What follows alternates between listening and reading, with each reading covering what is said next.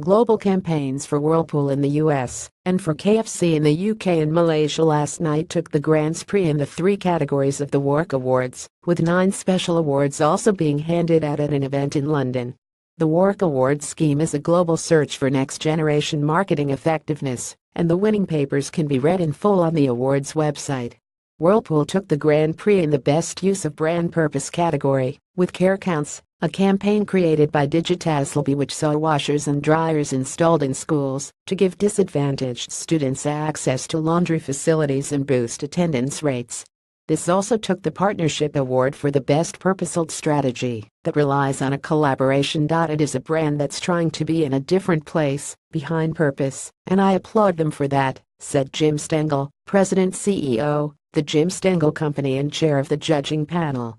The Longevity Award in this category went to Ariel for its Dads Share the Load campaign by BBDO India, while the Analytics Award was won by Huggies for No Baby Unhugged, a Canadian campaign created by Ogilvy and Mindshare.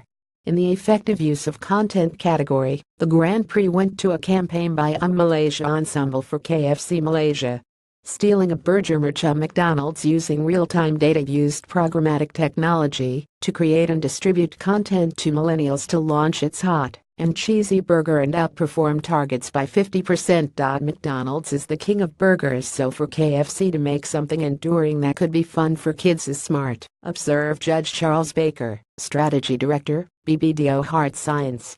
This kind of thing is really about building preference and repeat visits. The Low Budget Idea Award in this category went to this by Kes MS, a White Grey Australia campaign for MS Limited Australia, while the Best Multi-Platform Award went to La Phantom, a European campaign for the Ford Edge created by GTB. The Long-Term Idea Award was taken by Knorr's Love at First Taste, a global campaign designed by MullenLowe London. The Grand Prix in the Effective Social Strategy category was also won by KFC, this time for a campaign by BBH London Dirty Louisiana Don't Make Dirty Good, Make Clean Bad was a humorous clean eating campaign to launch a new product in the UK.